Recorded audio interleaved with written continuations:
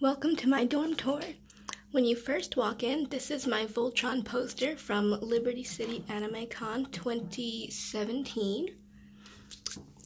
I have a single room.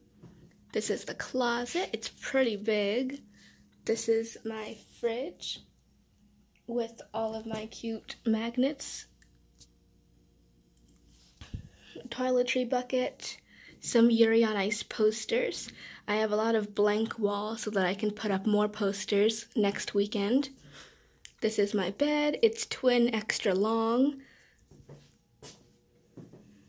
I have three pillows, my plushies, a poster, nice big window, window seat, furniture from home, my backpack,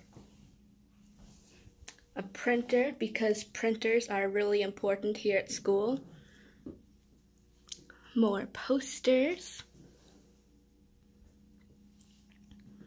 And then because I'm in a single, I have a five dresser drawer, which is really nice. And then this is the first year that I've got a an electric kettle premium from Amazon.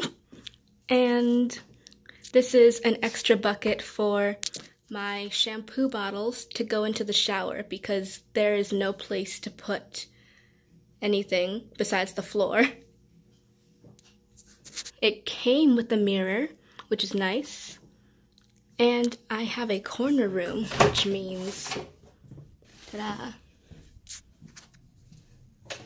the hallway. I'm at the end of the hallway. Thanks for watching.